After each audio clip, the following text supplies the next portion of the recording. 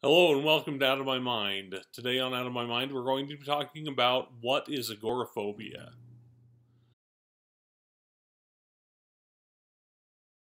Okay, so there are a lot of misconceptions about what agoraphobia is, and that's understandable. It's a weird condition that can manifest in a lot of different ways. Some people think that agoraphobia is the fear of crowds, other people think that it is the fear of tight spaces, kind of a claustrophobia thing, or even that agoraphobia is the fear of being unable to escape.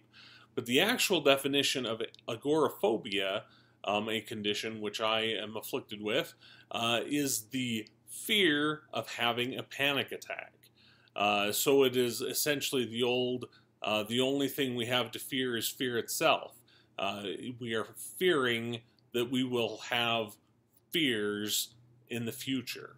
Um, if you've had agoraphobia or you're familiar with panic attacks, uh, if you've never had a panic attack, basically what it feels like is uh, an overwhelming sense of dread, um, and you will have symptoms like a rapid heartbeat, sweating, shaking, nausea, um, numbness, chest pain. Um, and a host of other problems. Uh, they can last 30 seconds, they can last a few hours. Um, they are miserable. You might be thinking that you're having a heart attack, you might be thinking you're dying. They're incredibly unpleasant. Um, and while there's medicine that you can take, it's usually slow acting and you need to uh, kind of ride out the panic attack. There are techniques that we'll talk about that can make it easier to get through this but you really just have to ride it out.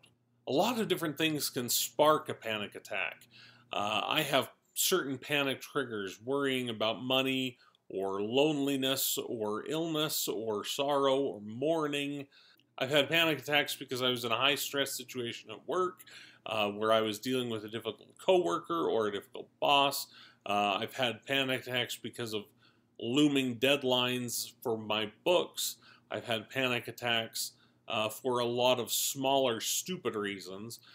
Anyway, the classic example for me is church. Uh, I have a lot of trouble with big crowds, and so I worry about going to church because at church I'm going to have a panic attack that is going to make me want to leave church and go home. Um, and so every Saturday night, I get a panic attack about the fact that I will get a panic attack at church.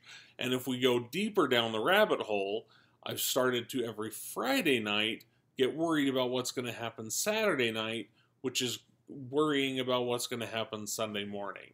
So, what can you do about this? The good news is that there are a lot of coping techniques.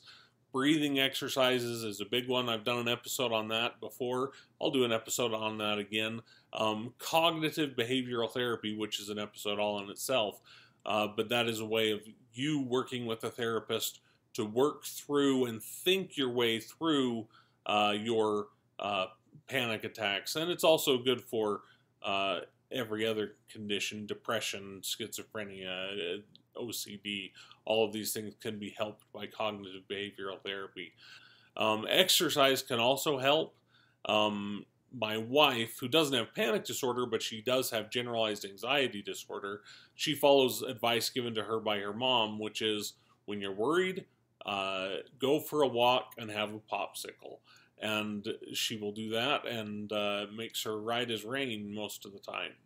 I don't mean to minimize the ongoing problems of any of these. Even as I was writing the script for this episode, I was going through coping techniques online and I was thinking, yeah, that doesn't work, and I've tried that and that failed. But on the other hand, I am far better at controlling panic attacks now than I was five years ago. So what's the good news? The good news is that panic attacks are something can, that can be completely cured. Um, unlike some mental illnesses that you will always have with you, panic attacks can be made to go completely away. Um, a lot of that is patience. It's not going to go away in a year. It's probably not going to go away in five years. You will start getting what they call limited symptom attacks, which are you might have uh, chest pain, but you won't have rapid breathing, or you might have nausea, but you don't have vertigo things start to get better, you start to have fewer symptoms, and eventually it can go away entirely.